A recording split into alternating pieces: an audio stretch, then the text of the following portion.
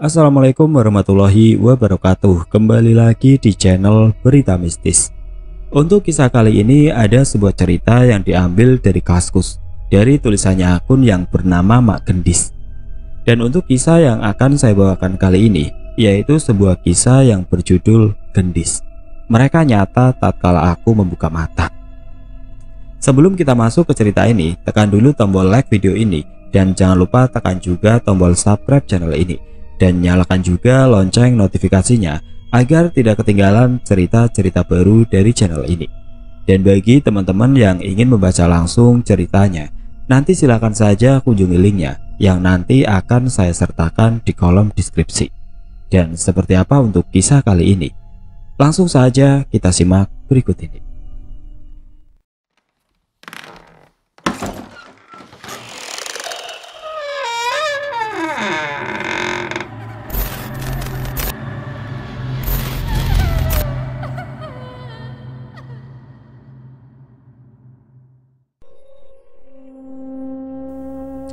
Pikiranku menerawang, mencoba mengingat kembali semua peristiwa yang sudah aku dan putriku lalui. Masih teringat jelas dalam ingatanku, semua peristiwa tidak masuk akal yang selalu menjadi santapanku sehari-hari. Bersinggungan dengan peristiwa gaib yang hampir membuat otakku menjadi gila. Malam itu terasa aura mistis yang berhembus sampai membuat bulu kuduk merinding. Suasana di dalam rumah terasa begitu mencekam dan menegangkan. Suara itu, ya suara itu. Suara denting piano mulai terdengar menggema di seluruh ruangan. Seingatku, piano mainan putriku sudah aku matikan dari sebelum ajan maghrib berkumandang. Gendis yang sedang tertidur lelap tiba-tiba terbangun. Dirinya tampak gelisah dan mulai terdengar tangisan dari bibir mungilnya. Ah, kenapa kalian tidak pernah berhenti mengganggu anakku? Apa kesalahan putriku terhadap kalian? Kehidupanku dulu berjalan normal hingga kehadiran putriku membuat semuanya berubah. Mereka sangat menantikan kehadiranmu. Mereka begitu menyambutmu. Apa yang membuat mereka begitu tertarik denganmu, putri kecilku? Gendis adalah nama yang aku berikan untuk putriku tercinta. Anak yang sudah aku tunggu hampir 10 tahun lamanya.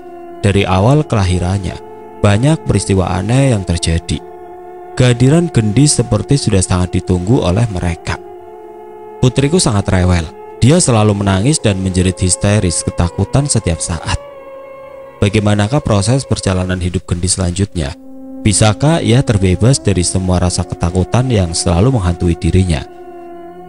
Akankah putriku bisa menjalani hidup normal seperti anak kecil lainnya? Dan kapankah semua ujian ini akan berakhir? Ini kisah gendis anakku yang akan menjadi bagian dari perjalanan hidupku.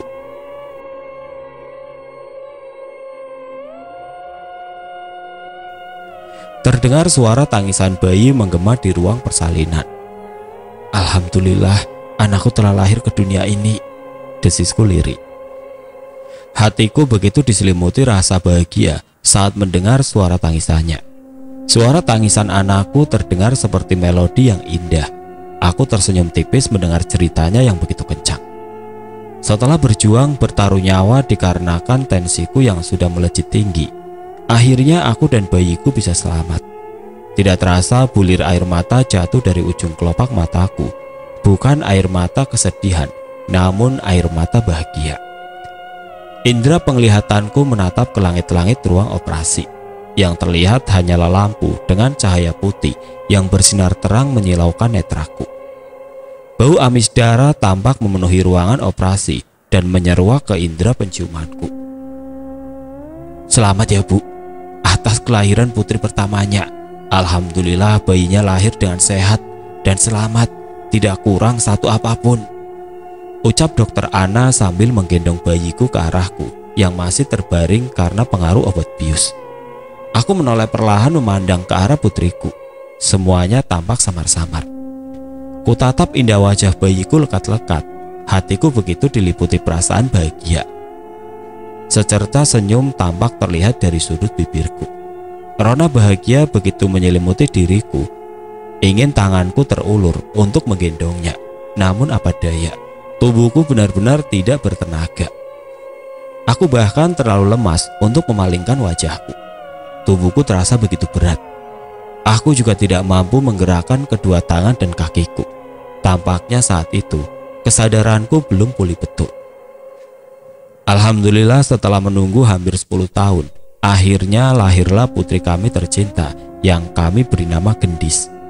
Di saat hati ini masih berduka karena harus kehilangan sosok malaikat tidak bersayap, ibuku Allah yang Maha Adil menggantikannya dengan kehadiran sosok malaikat kecil yang wajahnya sangat mirip sekali dengan beliau.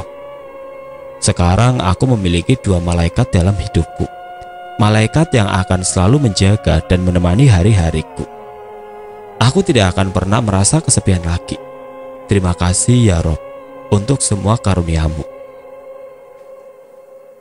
Selamat datang putri kecilku. Semoga engkau menjadi anak soleha dan selalu lurus jalannya.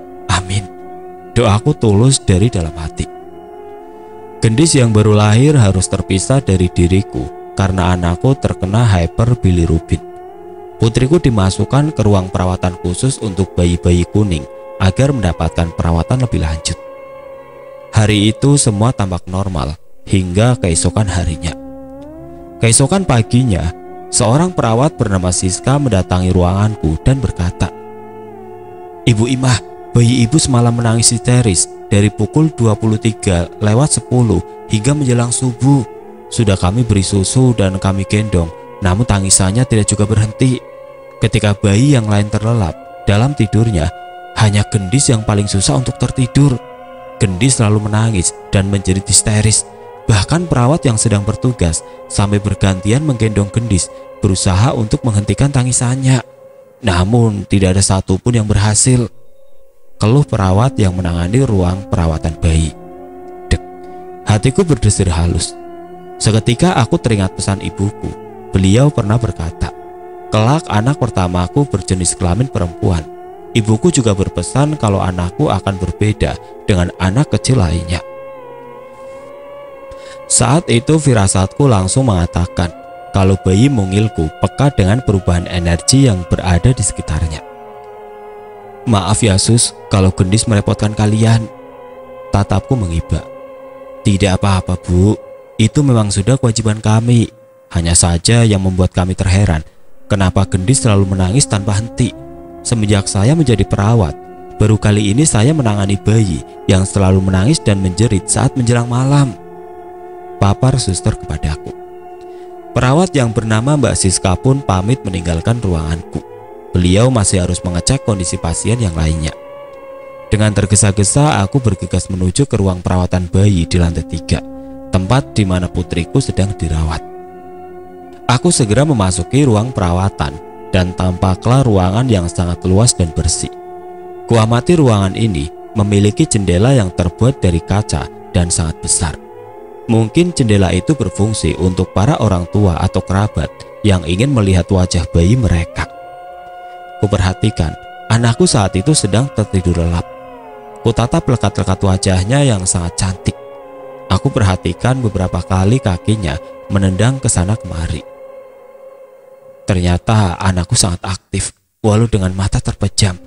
Dirinya tampak tidak bisa diam seperti diriku. Aku tersenyum melihat kelakuan putriku. Aku memasukkan jari kananku ke dalam alat fototerapi. Segera aku genggam dengan erat jari jemarinya yang mungil. Dalam hatiku bertanya, "Apa yang kamu rasakan semalam, sayang? Kenapa kamu sangat rewel sampai membuat perawat yang menjagamu kebingungan? Siapa yang sudah mengganggu waktu istirahatmu, putriku?" Kala itu berbagai pertanyaan berkecamuk dalam benakku. Setelah dirawat selama dua hari, aku diizinkan pulang oleh dokter, tetapi tidak dengan gendis. Anakku tetap harus dirawat. Karena kadar bilirubinnya tidak ada perubahan yang signifikan. Ketika bayi lain membutuhkan waktu maksimal tiga hari untuk menurunkan kadar bilirubin dari tubuh mereka, berbeda halnya dengan gendis. Dia membutuhkan waktu sedikit lebih lama untuk menormalkannya. Setiap hari aku selalu menyempatkan diri berkunjung ke rumah sakit untuk mengunjungi putriku. Aku selalu bertanya ke perawat yang menjaga gendis tentang perkembangan kadar bilirubin dalam tubuhnya. Rasa rindu di dadaku begitu membuncah. Aku tidak sabar ingin segera membawanya pulang. Aku ingin selalu menatap wajahnya ketika ia sedang tertidur pulas. Dan dengan bebas dapat menggendong serta mencium bayiku kapan pun aku mau. Tidak perlu mondar-mandir ke rumah sakit dan selalu meminta izin ke perawat yang bertugas untuk dapat menyentuh jari anakku sendiri. Naluriku sebagai seorang ibu sangat tidak tega saat melihatnya harus berada dalam alat fototerapi. Mata gendis ditutup dengan kain kasa agar sinar ultraviolet yang terpancar dari alat itu nantinya tidak akan merusak penglihatannya.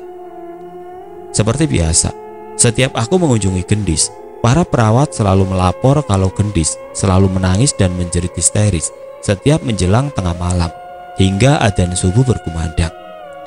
Namun semakin lama para perawat mulai terbiasa menghadapi tangisan gendis yang selalu terjadi setiap malam. Menurut mereka hal itu selalu berlangsung rutin setiap malam hari selama gendis berada di ruang perawatan rumah sakit. Di saat bayi-bayi lain asik tertidur lelap, gendis malah kebalikannya. Dia akan menangis kencang dan menjerit-jerit histeris. Terima kasih untuk para perawat yang selalu sabar menemani tangisan-tangisan gendis setiap malam. Alhamdulillah setelah seminggu di ruang perawatan, gendis diizinkan pulang ke rumah oleh dokter spesialis anak. Dengan catatan, gendis harus rutin konsultasi untuk mengetahui perkembangannya. Dan di sinilah semua berawal. Ternyata sudah banyak yang menunggu kedatangan gendis di rumah. Mereka akan menyambutnya dengan kejadian-kejadian tidak masuk akal yang harus aku alami. Berbagai macam peristiwa yang akan merubah perjalanan hidup aku dan Gendis. Rumah yang tadinya sepi menjadi ceria dengan kepulangan Gendis. Hati ini rasanya bahagia sekali. Akhirnya malam ini saya bisa tidur bersama anak saya. Suasana di rumah siang itu tampak normal, tidak ada keanehan yang terjadi. Hingga saat malam tiba, saat jam hampir menunjukkan pukul 23, gendis yang tadinya tertidur lelap tiba-tiba mulai terbangun. Dia mulai gelisah dan tidak lama kemudian menangis sangat kencang. Ternyata betul apa yang perawat katakan kalau anak saya setiap malam tidak bisa tidur dan selalu menangis. Seperti ada yang dia rasakan, ketakutan yang teramat sangat. Saya yang panik cuma bisa menggendongnya dan membaca ayat kursi. Tetapi tangisan gendis tidak juga berhenti, malah semakin kencang. Tangisannya baru berhenti ketika hari menjelang subuh. Dia pun mulai tertidur lelap setelah lelah menangis semalaman. Diri ini pun lelah luar biasa karena harus menggendong dan menenangkannya semalaman. Hati ini mulai bertanya-tanya, Ya Allah, ada apa ini? Kenapa anakku begini? Apa yang dia lihat? Apa yang dia rasakan? sampai menangis sekencang dan bisa selama itu. Apa yang membuatnya takut? Dalam hatiku hanya bisa berdoa, semoga hanya malam ini gendis rewel dan besok-besok sudah normal kembali. Tetapi ternyata pikiranku salah. Ternyata tangisan gendis selalu terjadi setiap malam dan di rumah mulai terjadi peristiwa yang tidak masuk akal. Di rumah banyak sekali mainan yang saya belikan untuk gendis bisa dibilang diri ini kalap karena semua yang saya suka langsung saya beli untuk menyambut kedatangan gendis. Dan di situlah letak kesalahannya. Mereka juga menyukai mainan gendis. Kejadian itu bermula saat menjelang maghrib. Saya yang saat itu lagi berada di dalam kamar menemani gendis yang sedang tertidur. Tiba-tiba mendengar alunan musik dari mainan kotak musik yang saya taruh di ruang TV. Awalnya saya kira mainan itu rusak, Lalu saya matikan tombol off-nya dan saya kembali ke kamar.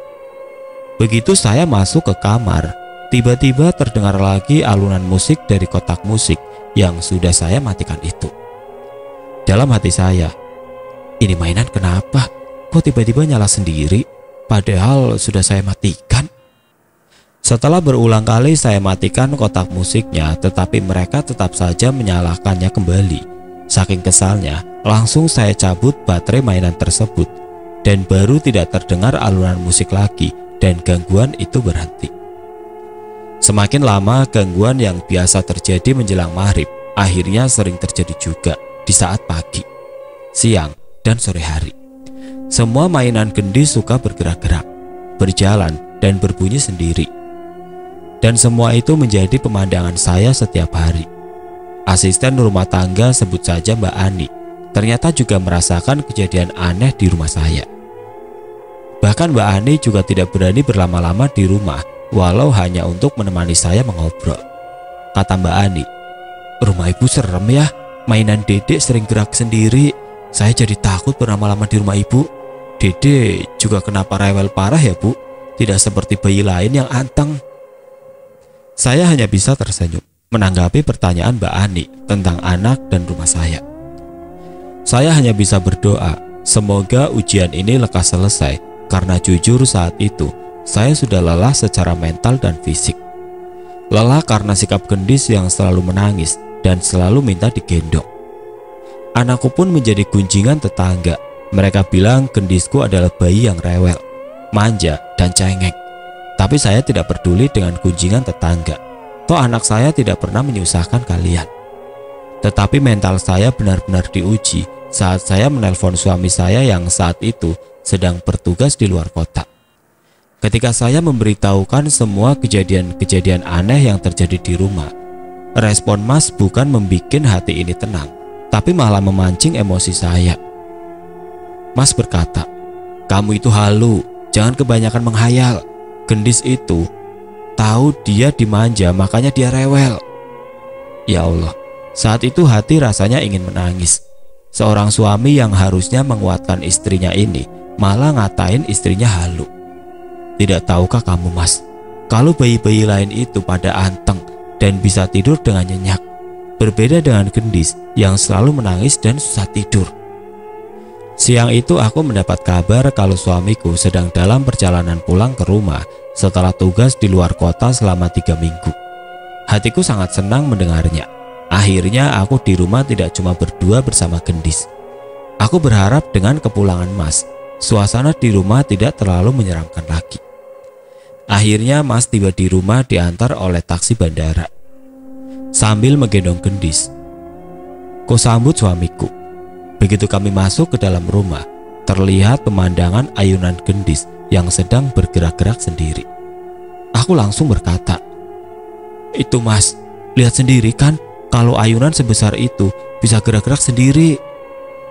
Mas cuma melirik sekilas ke arah ayunan yang posisinya saat itu saya taruh di ruang tamu. Ah, cuma ketiup angin itu, makanya bisa goyang-goyang sendiri. Sudah, kamu jangan mikir yang aneh-aneh. Mulai sekarang, Coba ubah pola pikirmu pakai logika. Saat itu aku cuma terdiam karena diriku lagi malas berdebat. Tetapi dalam hatiku berkata, Loh, pada awalnya aku juga pakai logika. Tapi kalau kejadiannya seperti ini setiap hari, ya tandanya ada yang gak beres. Brak. Tiba-tiba kami dikejutkan oleh suara yang sangat kencang dari lantai atas. Suara benda jatuh atau tepatnya dibanting. Aku langsung meminta Mas untuk mengecek ke ruangan di atas. Aku terlalu takut mendekati tangga dan naik ke atas. Bagiku, wilayah daerah tangga hawanya sangat menyeramkan. Dengan langkah yang kurang bersemangat, Mas langsung menuju ke tangga dan naik ke lantai atas. Tidak lama kemudian, Mas turun menemui. Gak ada apa-apa di atas, gak ada barang yang jatuh, semua tersusun rapi dan bersih. Daiku mengernyit mendengar ucapannya. Terus, tadi suara apa mas? Suaranya kenceng banget, kayak benda jatuh. Kamu juga dengar kan? Sambil duduk di kursi ruang tamu, Mas berkata, Mungkin itu suara jendela yang tertiup angin. Angin di luar kan lagi kenceng banget. Hatiku membatin. Angin? Angin katanya. Jelas-jelas di lantai atas itu, jendelanya selalu ditutup sama Mbak Ani kalau dia pulang. Lagi-lagi aku mengalah saat harus beradu argumen dengan Mas. Kulakukan ini biar tidak terjadi pertengkaran. Rasanya aneh kalau baru ketemu malah harus bertengkar. Setelah itu suasana di rumah berjalan tanpa ada gangguan sama sekali sampai menjelang malam tiba. Saat itu menjelang maghrib dan Mas sedang menemani gendis di kamar utama dan aku sedang sholat di kamar belakang. Tiba-tiba mulai terdengar suara dari mainan mobil-mobilan yang berjalan. Diikuti dengan suara musik yang keluar dari baby walker. Aku yang baru selesai sholat langsung menuju ke ruangan tempat mainan-mainan tersebut berada. Bulu kuduku meremang. Terasa ada semilir angin mengelus lembut tengkuku. Suasana di rumah auranya mulai berbeda. Tiba-tiba terdengar suara cekikan anak kecil yang tertawa girang. Kulihat mainan boneka gendis yang disusun di tiang mulai berayun-ayun sendiri. Awalnya gerakannya sangat pelan, tapi semakin lama semakin kencang, diiringi suara cekikikan yang semakin membuat jantung berdegup kencang. Di saat aku sedang mengamati aktivitas mereka, dari dalam kamar terdengar suara tangisan gendis dan terdengar suara brak. Seperti suara benda yang terjatuh.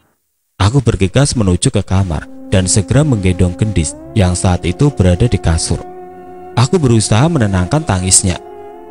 Seketika itu sudut mataku melihat ke arah sapu lidi yang biasanya berada di atas lemari. Tiba-tiba sudah tergeletak di lantai. Mas, kok bisa sapu lidinya jatuh ke lantai? Kan posisinya tadi di atas lemari. Tanyaku penuh keheranan. Tahu tuh, tadi tiba-tiba saja sapu lidinya jatuh di atas lemari. Mungkin ketip angin. Ujarnya tanpa menoleh sedikit pun. Tidak mungkin mas, masa sapu lidi bisa jatuh sendiri karena tertiup angin. Berat loh sapunya. Tukasku memberi argumen. Ya mungkin saja. Sudah, kamu jangan sampai berpikir macam-macam. Apalagi kalau sampai berpikir sapu itu jatuh karena setan. Jangan mulai lagi membahas hal yang tidak masuk akal. Hal yang tidak penting bagi saya. Tapi tadi mas mendengar suara cekikan anak kecil yang sepertinya sedang asik bermain. Suaranya terdengar dari ruang tengah di tempat mainan gendis berasal. Mas juga dengar kan suara mainan mobil-mobilan dan suara musik dari Baby Walker? Ujarku penasaran. Suamiku menatap ke arahku dengan pandangan sinis, sedangkan saat itu aku sibuk harus menenangkan tangisan gendis. Mas menarik nafas panjang. Harus berapa kali Aku harus bilang ke kamu untuk merubah pola pikirmu. Ya, Mas memang mendengar suara mainan yang bunyi. Mungkin mainan itu rusak. Jangan apa-apa semua disangkut pautkan dengan hal gaib. Kalau suara tawa anak-anak, Mas malah tidak dengar sama sekali. Mungkin itu cuma halusinasi kamu saja. Kamu mungkin terlalu lelah, makanya selalu berpikir yang macam-macam. Tapi Mas, kalau mainan itu rusak, Kenapa mainan itu cuma berbunyi setiap menjelang maghrib dan tengah malam? Kenapa seperti ada yang memainkannya? Dan suara tawa anak-anak kecil. Aku dengar dengan sangat jelas. Aku memang capek, tapi tidak mungkin aku sedang berhalusinasi. Aku tidak suka menghayal. Pegiku tertahan. Sudahlah, kalau kamu tidak mau mendengar suara mainan gendis, besok biar semua mainannya akan masuk bangkan ke orang lain saja biar otakmu tidak berpikir macam-macam. Mas itu pulang ingin istirahat, bukan untuk mendengarkan cerita aneh. Ujarnya dengan nada yang mulai tinggi. Akhirnya aku pun terdiam. Aku lagi malas ribut. Saat itu bukan hanya mainan mobil-mobilan dan musik dari Baby Walker yang berbunyi, tapi semua mainan yang ada di ruang TV dan ruang tamu serempak berbunyi semua. Sambil terus menggendong gendis yang terus menjerit histeris, aku melangkah tergesa menuju ke ruang TV. Mataku nanar mengamati semua mainan satu persatu. Emosiku mulai tersulut dengan dada terasa sesak menahan emosi yang siap meledak. Aku menggigit bibir, mengumpulkan keberanian. Resek lo, gangguin anak gua aja. Emang salah anak gua apa sama lo? Teriakku lantang. Kalau mau pinjem mainan, ya pinjem aja. Tapi jangan bikin anak gue nangis. Percuma, teriakanku tidak mereka gubris. Aku sangat berharap mereka mau mendengar ucapanku saat itu dan segera menghentikan aktivitasnya.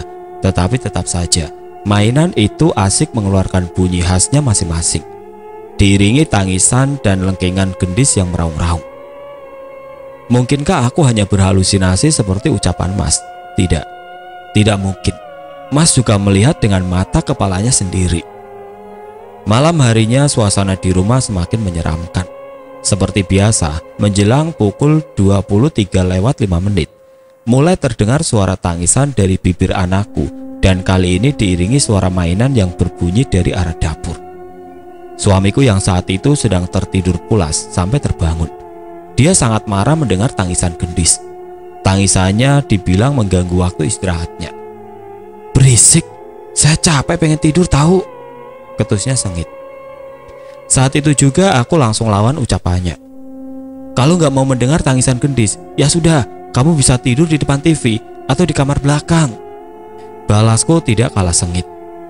Namun Mas tidak bergeming masih dengan posisi tiduran malah membelakangi kami sambil menutup kupingnya dengan bantal. Sakit. Hati ini sakit mendengar ucapan dan sikapnya. Tidak bisakah kamu berempati sedikit kepada putrimu? Seandainya Gendis bisa bicara, dia pasti juga tidak menginginkan hal ini terjadi.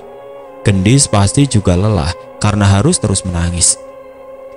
Gendis pasti juga mau istirahat, ingin tidur dengan nyenyak tanpa menghadapi gangguan dari mereka. Hati Gendis pasti juga sedih karena melihat mamanya yang tidak bisa beristirahat karena harus selalu menenangkan tangisannya setiap saat. Gendis, gendisnya mama. Mama kuat karena rasa sayang mama yang begitu besar ke kamu. Kamu yang bikin otak mama tetap waras. Kalau bukan sama mama, terus siapa yang mau merawat kamu putriku? Gendis cuma mau digendong sama mama. Kamu cuma merasa nyaman berada di pelukan mama. Dan malam itu akhirnya aku memutuskan untuk tidur di ruang tamu bersama Gendis. Saya tutup pintu kamar dengan kencang. Dalam hati saya berkata, Bodoh amat kalau tetanggaku mendengar pertengkaran kami. Aku tidak peduli jika besok harus menjadi omongan mereka lagi.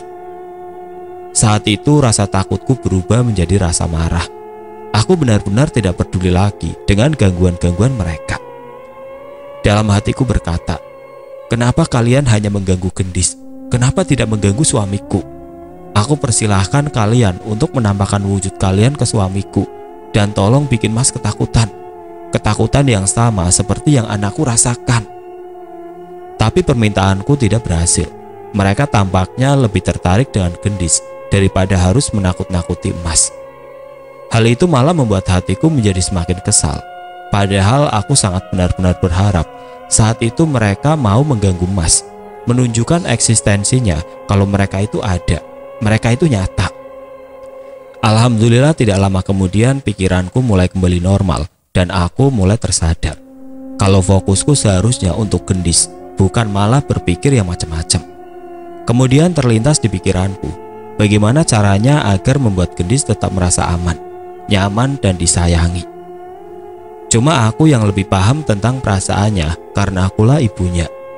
Malam itu seperti biasa, aku lewati sambil menggendong anak dan memeluk gendis yang terus menangis sampai adzan subuh berkumandang. Keesokan paginya Mas pamit harus pergi ke kantor karena ada beberapa data yang harus dia serahkan ke pihak HRD. Tapi aku tidak menggubris ucapannya.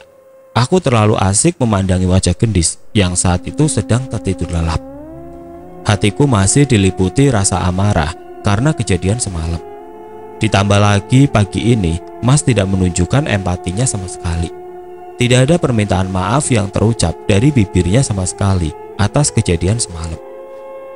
Saat itu, aku cuma bisa berdoa agar secepatnya Mas segera tugas keluar kota lagi. Toh percuma juga dia berada di rumah, tapi tidak pernah peduli dengan aku dan anaknya. Lebih baik hanya aku berdua dengan gendis saja di rumah. Mas boleh berkata apa pun tentang diriku, aku akan terima. Tapi kalau sampai Mas cuek dengan gendis, cuek dengan semua kejadian-kejadian aneh di rumah yang selalu membuat gendis menangis, maka dia akan menjadi musuhku. Sedihnya saat itu, pikiran Mas hanya diisi oleh pekerjaan. Mas tenggelam dalam dunianya sendiri. Tenang gendis, kamu tidak akan pernah sendirian. Mama akan selalu ada di sampingmu untuk mendengarkan semua ketakutan-ketakutanmu. Siang itu setelah Mbak Ani selesai membersihkan rumah, tinggallah hanya aku berdua dengan gendis di rumah. Semoga hari ini tidak ada kejadian aneh yang dis, gumamku dalam hati. Aku mempunyai kebiasaan setiap hari wajib membacakan gendis buku cerita. Dan siang itu di ruang tamu, aku asik membacakan kisah-kisah Nabi ke anakku tersayang. Gendis asik mendengarkan ceritaku sambil sebentar-sebentar terdengar celotehnya yang tidak jelas. Dia juga menatapku dengan tatapan matanya yang sangat tajam. Kemudian dia tersenyum. Senyumnya terlihat sangat menawan. Senyumnya bisa membuat aku melupakan amarah di hati. Sedang asik-asiknya membacakan buku, tiba-tiba mataku menatap keanehan. Boneka itu, boneka Barbie yang berada di samping kepala gendis. Bukannya tadi kepalanya menatap ke arah depan, kenapa sekarang berubah? Sepertinya kepalanya bergerak. Aku semakin mempertajam penglihatanku ke arah boneka Barbie tersebut. Apa aku salah lihat? Apa benar kata suamiku kalau aku selalu berhalusinasi. Tidak, tidak mungkin aku gila. Tidak mungkin aku halu. Otak ini masih waras. Dan aku sadar betul kalau saat ini sedang melihat dengan mata kepalaku sendiri kalau kepala boneka Barbie itu benar-benar bergerak. Kepalanya mulai bergerak secara perlahan-lahan dan menoleh ke arahku.